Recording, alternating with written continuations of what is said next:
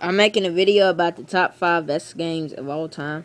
At number five is Halo Reach, which I don't have the disc for because it's in my Xbox 360 from the marketplace. I got it for free with my Xbox. It's pretty cool though. It's a good game to get for free. At number four is Madden NFL 25. It's difficult for me to get interceptions. Every time he he just every dude just like drops it. Like it's right in his hands and he drops it. At number three is Left 4 Dead 2. It's realistic and there's a ton of zombies to kill. It's very fun. I I encourage you to get it. I encourage you to get all of all five of these games because they're they're good in my opinion.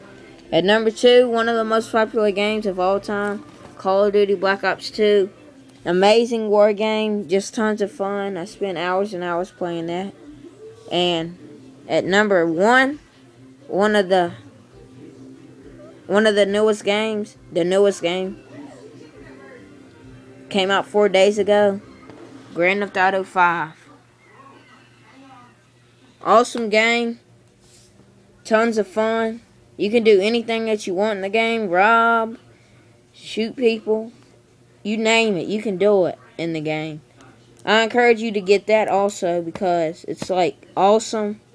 But if you want to wait till the price goes down, then like go ahead and do that.